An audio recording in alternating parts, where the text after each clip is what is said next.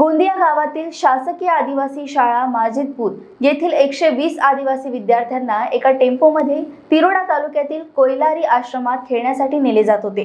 त्याच टेम्पोमध्ये परत आणत असताना काही मुले बेशुद्ध पडली. बेशुद्ध झालेल्या सर्वांवर रुग्णालयात उपचार सुरू झाले आहेत. तसेच तीन विद्यार्थ्यांना गोंदियाला पाठवण्यात आले आहे. चक्कर पडली. किती लगीत लोक होते का एकशे वीस करी लगीत होते. त्यामुळे चक्रून पडले. जीवन बरोबर होतं का? शाळेच्या इथे तीन मुली ॲडमिट आहेत. त्या तिन्ही मुलींना मी भेट दिलेली आहे. आणि त्यांची प्रकृती सध्या स्थिर आहे. पुढील काळजी आम्ही करतो